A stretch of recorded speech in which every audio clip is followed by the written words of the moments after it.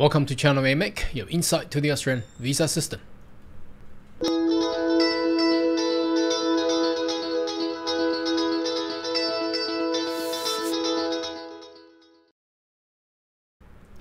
Good day everyone, my name is Carl Young, your online YouTube visa consultant. Are you interested about migrate to Australia? Why don't you consider to subscribe to our channel and turn a little bell on the side right there.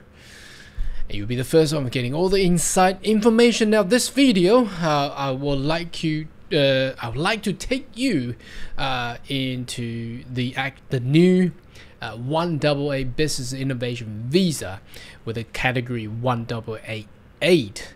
Generally, it's a, a visa allows a business entrepreneur to actually be qualified with their uh, background and then obviously establish a business in Australia in order to uh, transfer into a permanent resident. So let's take a look into the actual changes and updates. It's interesting. Um, and a lot of people is actually waiting for all this. So as you can see, today is the 1st of January 2021 and the new policy is taking effect right now, right today. So, and the, the whole system of immigration at the moment is under maintenance and upgrades. So uh, you cannot really lodge anything. And obviously you know about business innovation visa require to be state nominated and sponsored but at the moment none of the state had actually opened their presence at the moment. Uh, anyhow let's go into the federal requirement criteria by the Department Home Affairs. So uh, the web page now the only changes is right here. Uh, previously it was four years. Now they are giving um, the uh, temporary residency visa to be up to five years. Uh, I checked it with the um, the requirement to to actually transfer into triple eight, which was permanent residency. Now, unfortunately, the uh, that triple A visa page has not been updated yet. But let's look at how you can meet one double eight visas nowadays.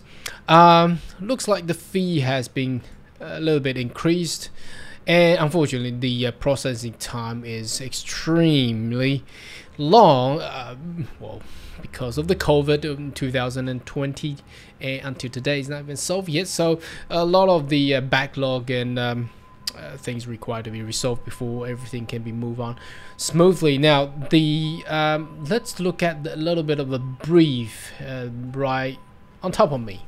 Okay, so you must okay you must score uh, at least 65 points. Uh, provide proof of business success. Uh, it's same as usual. You and your partner together have total business and personal asset of at least 1.5 million compared to previously required only 80 800,000 so that's uh, almost double of the requirement of your assets.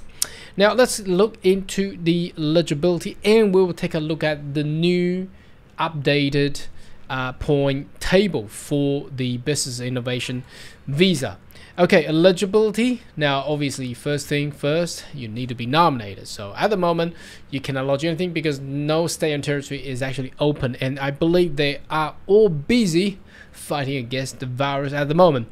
Uh, now, business ownership. So for two of the four fiscal year meeting before you receive invitation, okay and you can nominate one or two business cannot do three okay and it require now let's look at the after.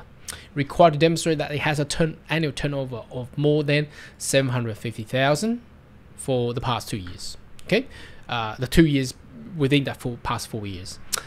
And if uh, the the business is uh, turns over less than 400,000, you're required to hold uh, you know a share to be above 51% or perhaps a lot most of people will be here 30% is enough uh, if you if the business is a public listed company, uh, you require to hold 10%. That 10% is huge. It's huge. But uh, if you are that kind of person, you probably won't pick one AA two for your preferences.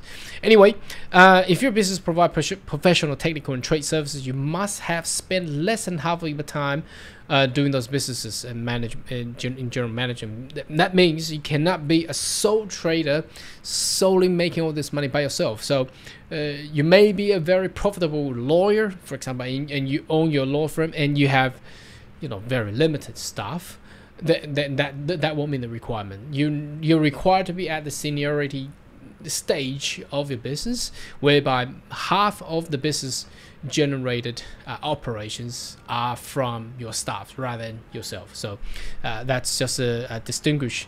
Uh, some people might be a doctor uh, owning a clinic, and he he or she is the own sole. Uh, person making all the profits, then that cannot be the requirement. If you own a clinic that has three or four um, doctors working there, and uh, they are all um, they, they generated more than half of what you generate uh, then you meet that requirement. That's what that meant okay? Uh, own personal business and asset. Now okay that included business assets and also your personal asset and that including you and together with your spouse or your partner okay now previously required to be 800,000. Now uh, it's jacked up to uh, 1.5 million dollars.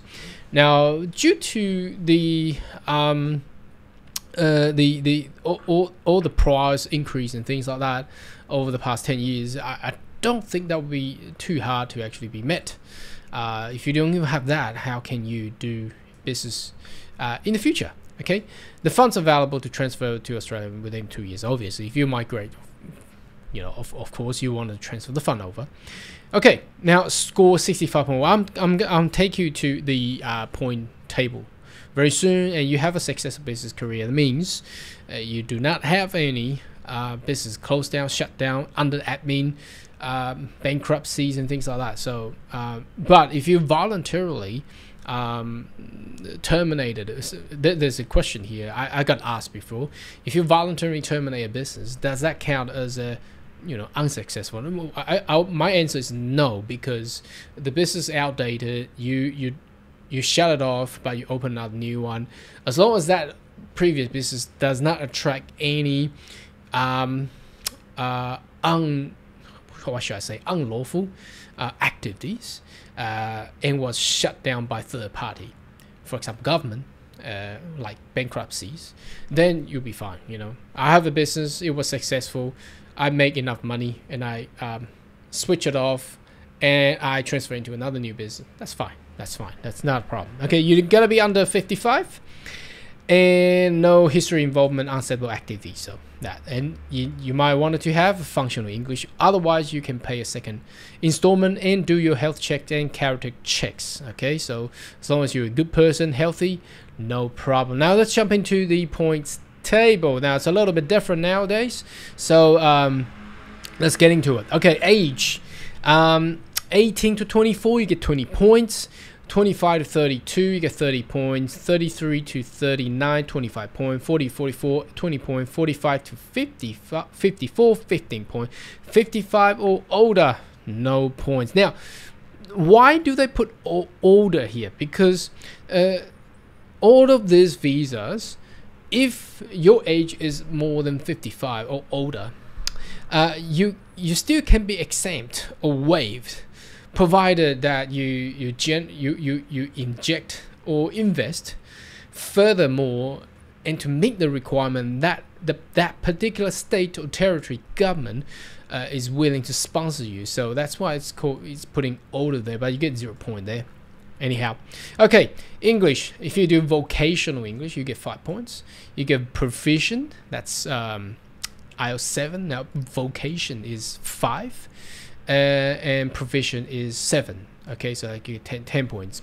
Now education qualification trade diploma bachelor degree um, recognized by Australia is five point. Now if you do bachelor or above but in the discipline of business, science, technology, okay, and, and obviously um, recognized by Australia, uh, you get that additional 10 points. Okay, you get that 10 points.